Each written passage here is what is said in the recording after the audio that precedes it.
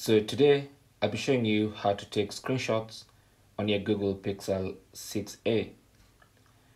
So if you look to the side of the phone, you should see the power button and also the volume rockers, which is volume up and volume down.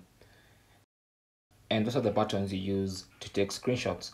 So put one finger on the power button and the other finger on volume down and then click them once and release. So just one click and as you can see, a screenshot has been taken.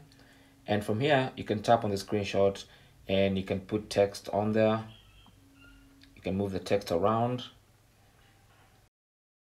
You can make drawings on the screenshot. You can make arrows just like that. And once you finish annotating the screenshot the way you want, you can tap on save at the top left corner.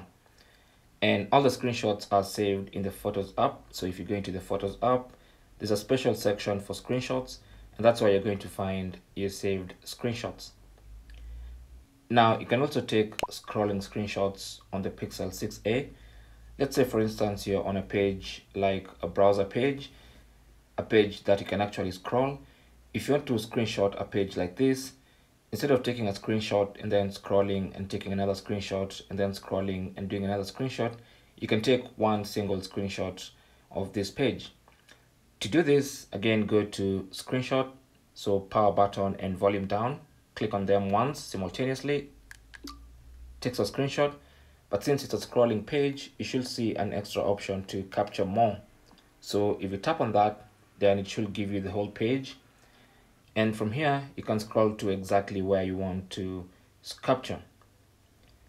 You can also scroll from the top and capture the screenshot exactly how you want it and once you're happy with it of course you can tap on edit to annotate the screenshot and also you can tap on save to save the screenshot so now if you go into the photos app you should see your brand new screenshot so there is your scrolling screenshot and that's how you can take a scrolling screenshot on your Google Pixel 6a. Now also you can use Google Assistant to take screenshots. Let's say you're on a page like this YouTube page, for instance, and you want to take a screenshot of this page. So what you need to do is simply tell Google Assistant to take a screenshot for you.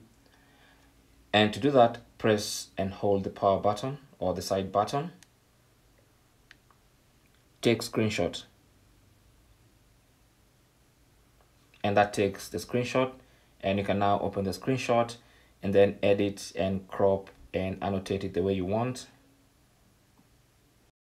And now even if you go back to the photos app into the screenshots folder you should find the screenshot you just took from there. And that's how to screenshot on your google pixel 6a thanks for watching and good luck guys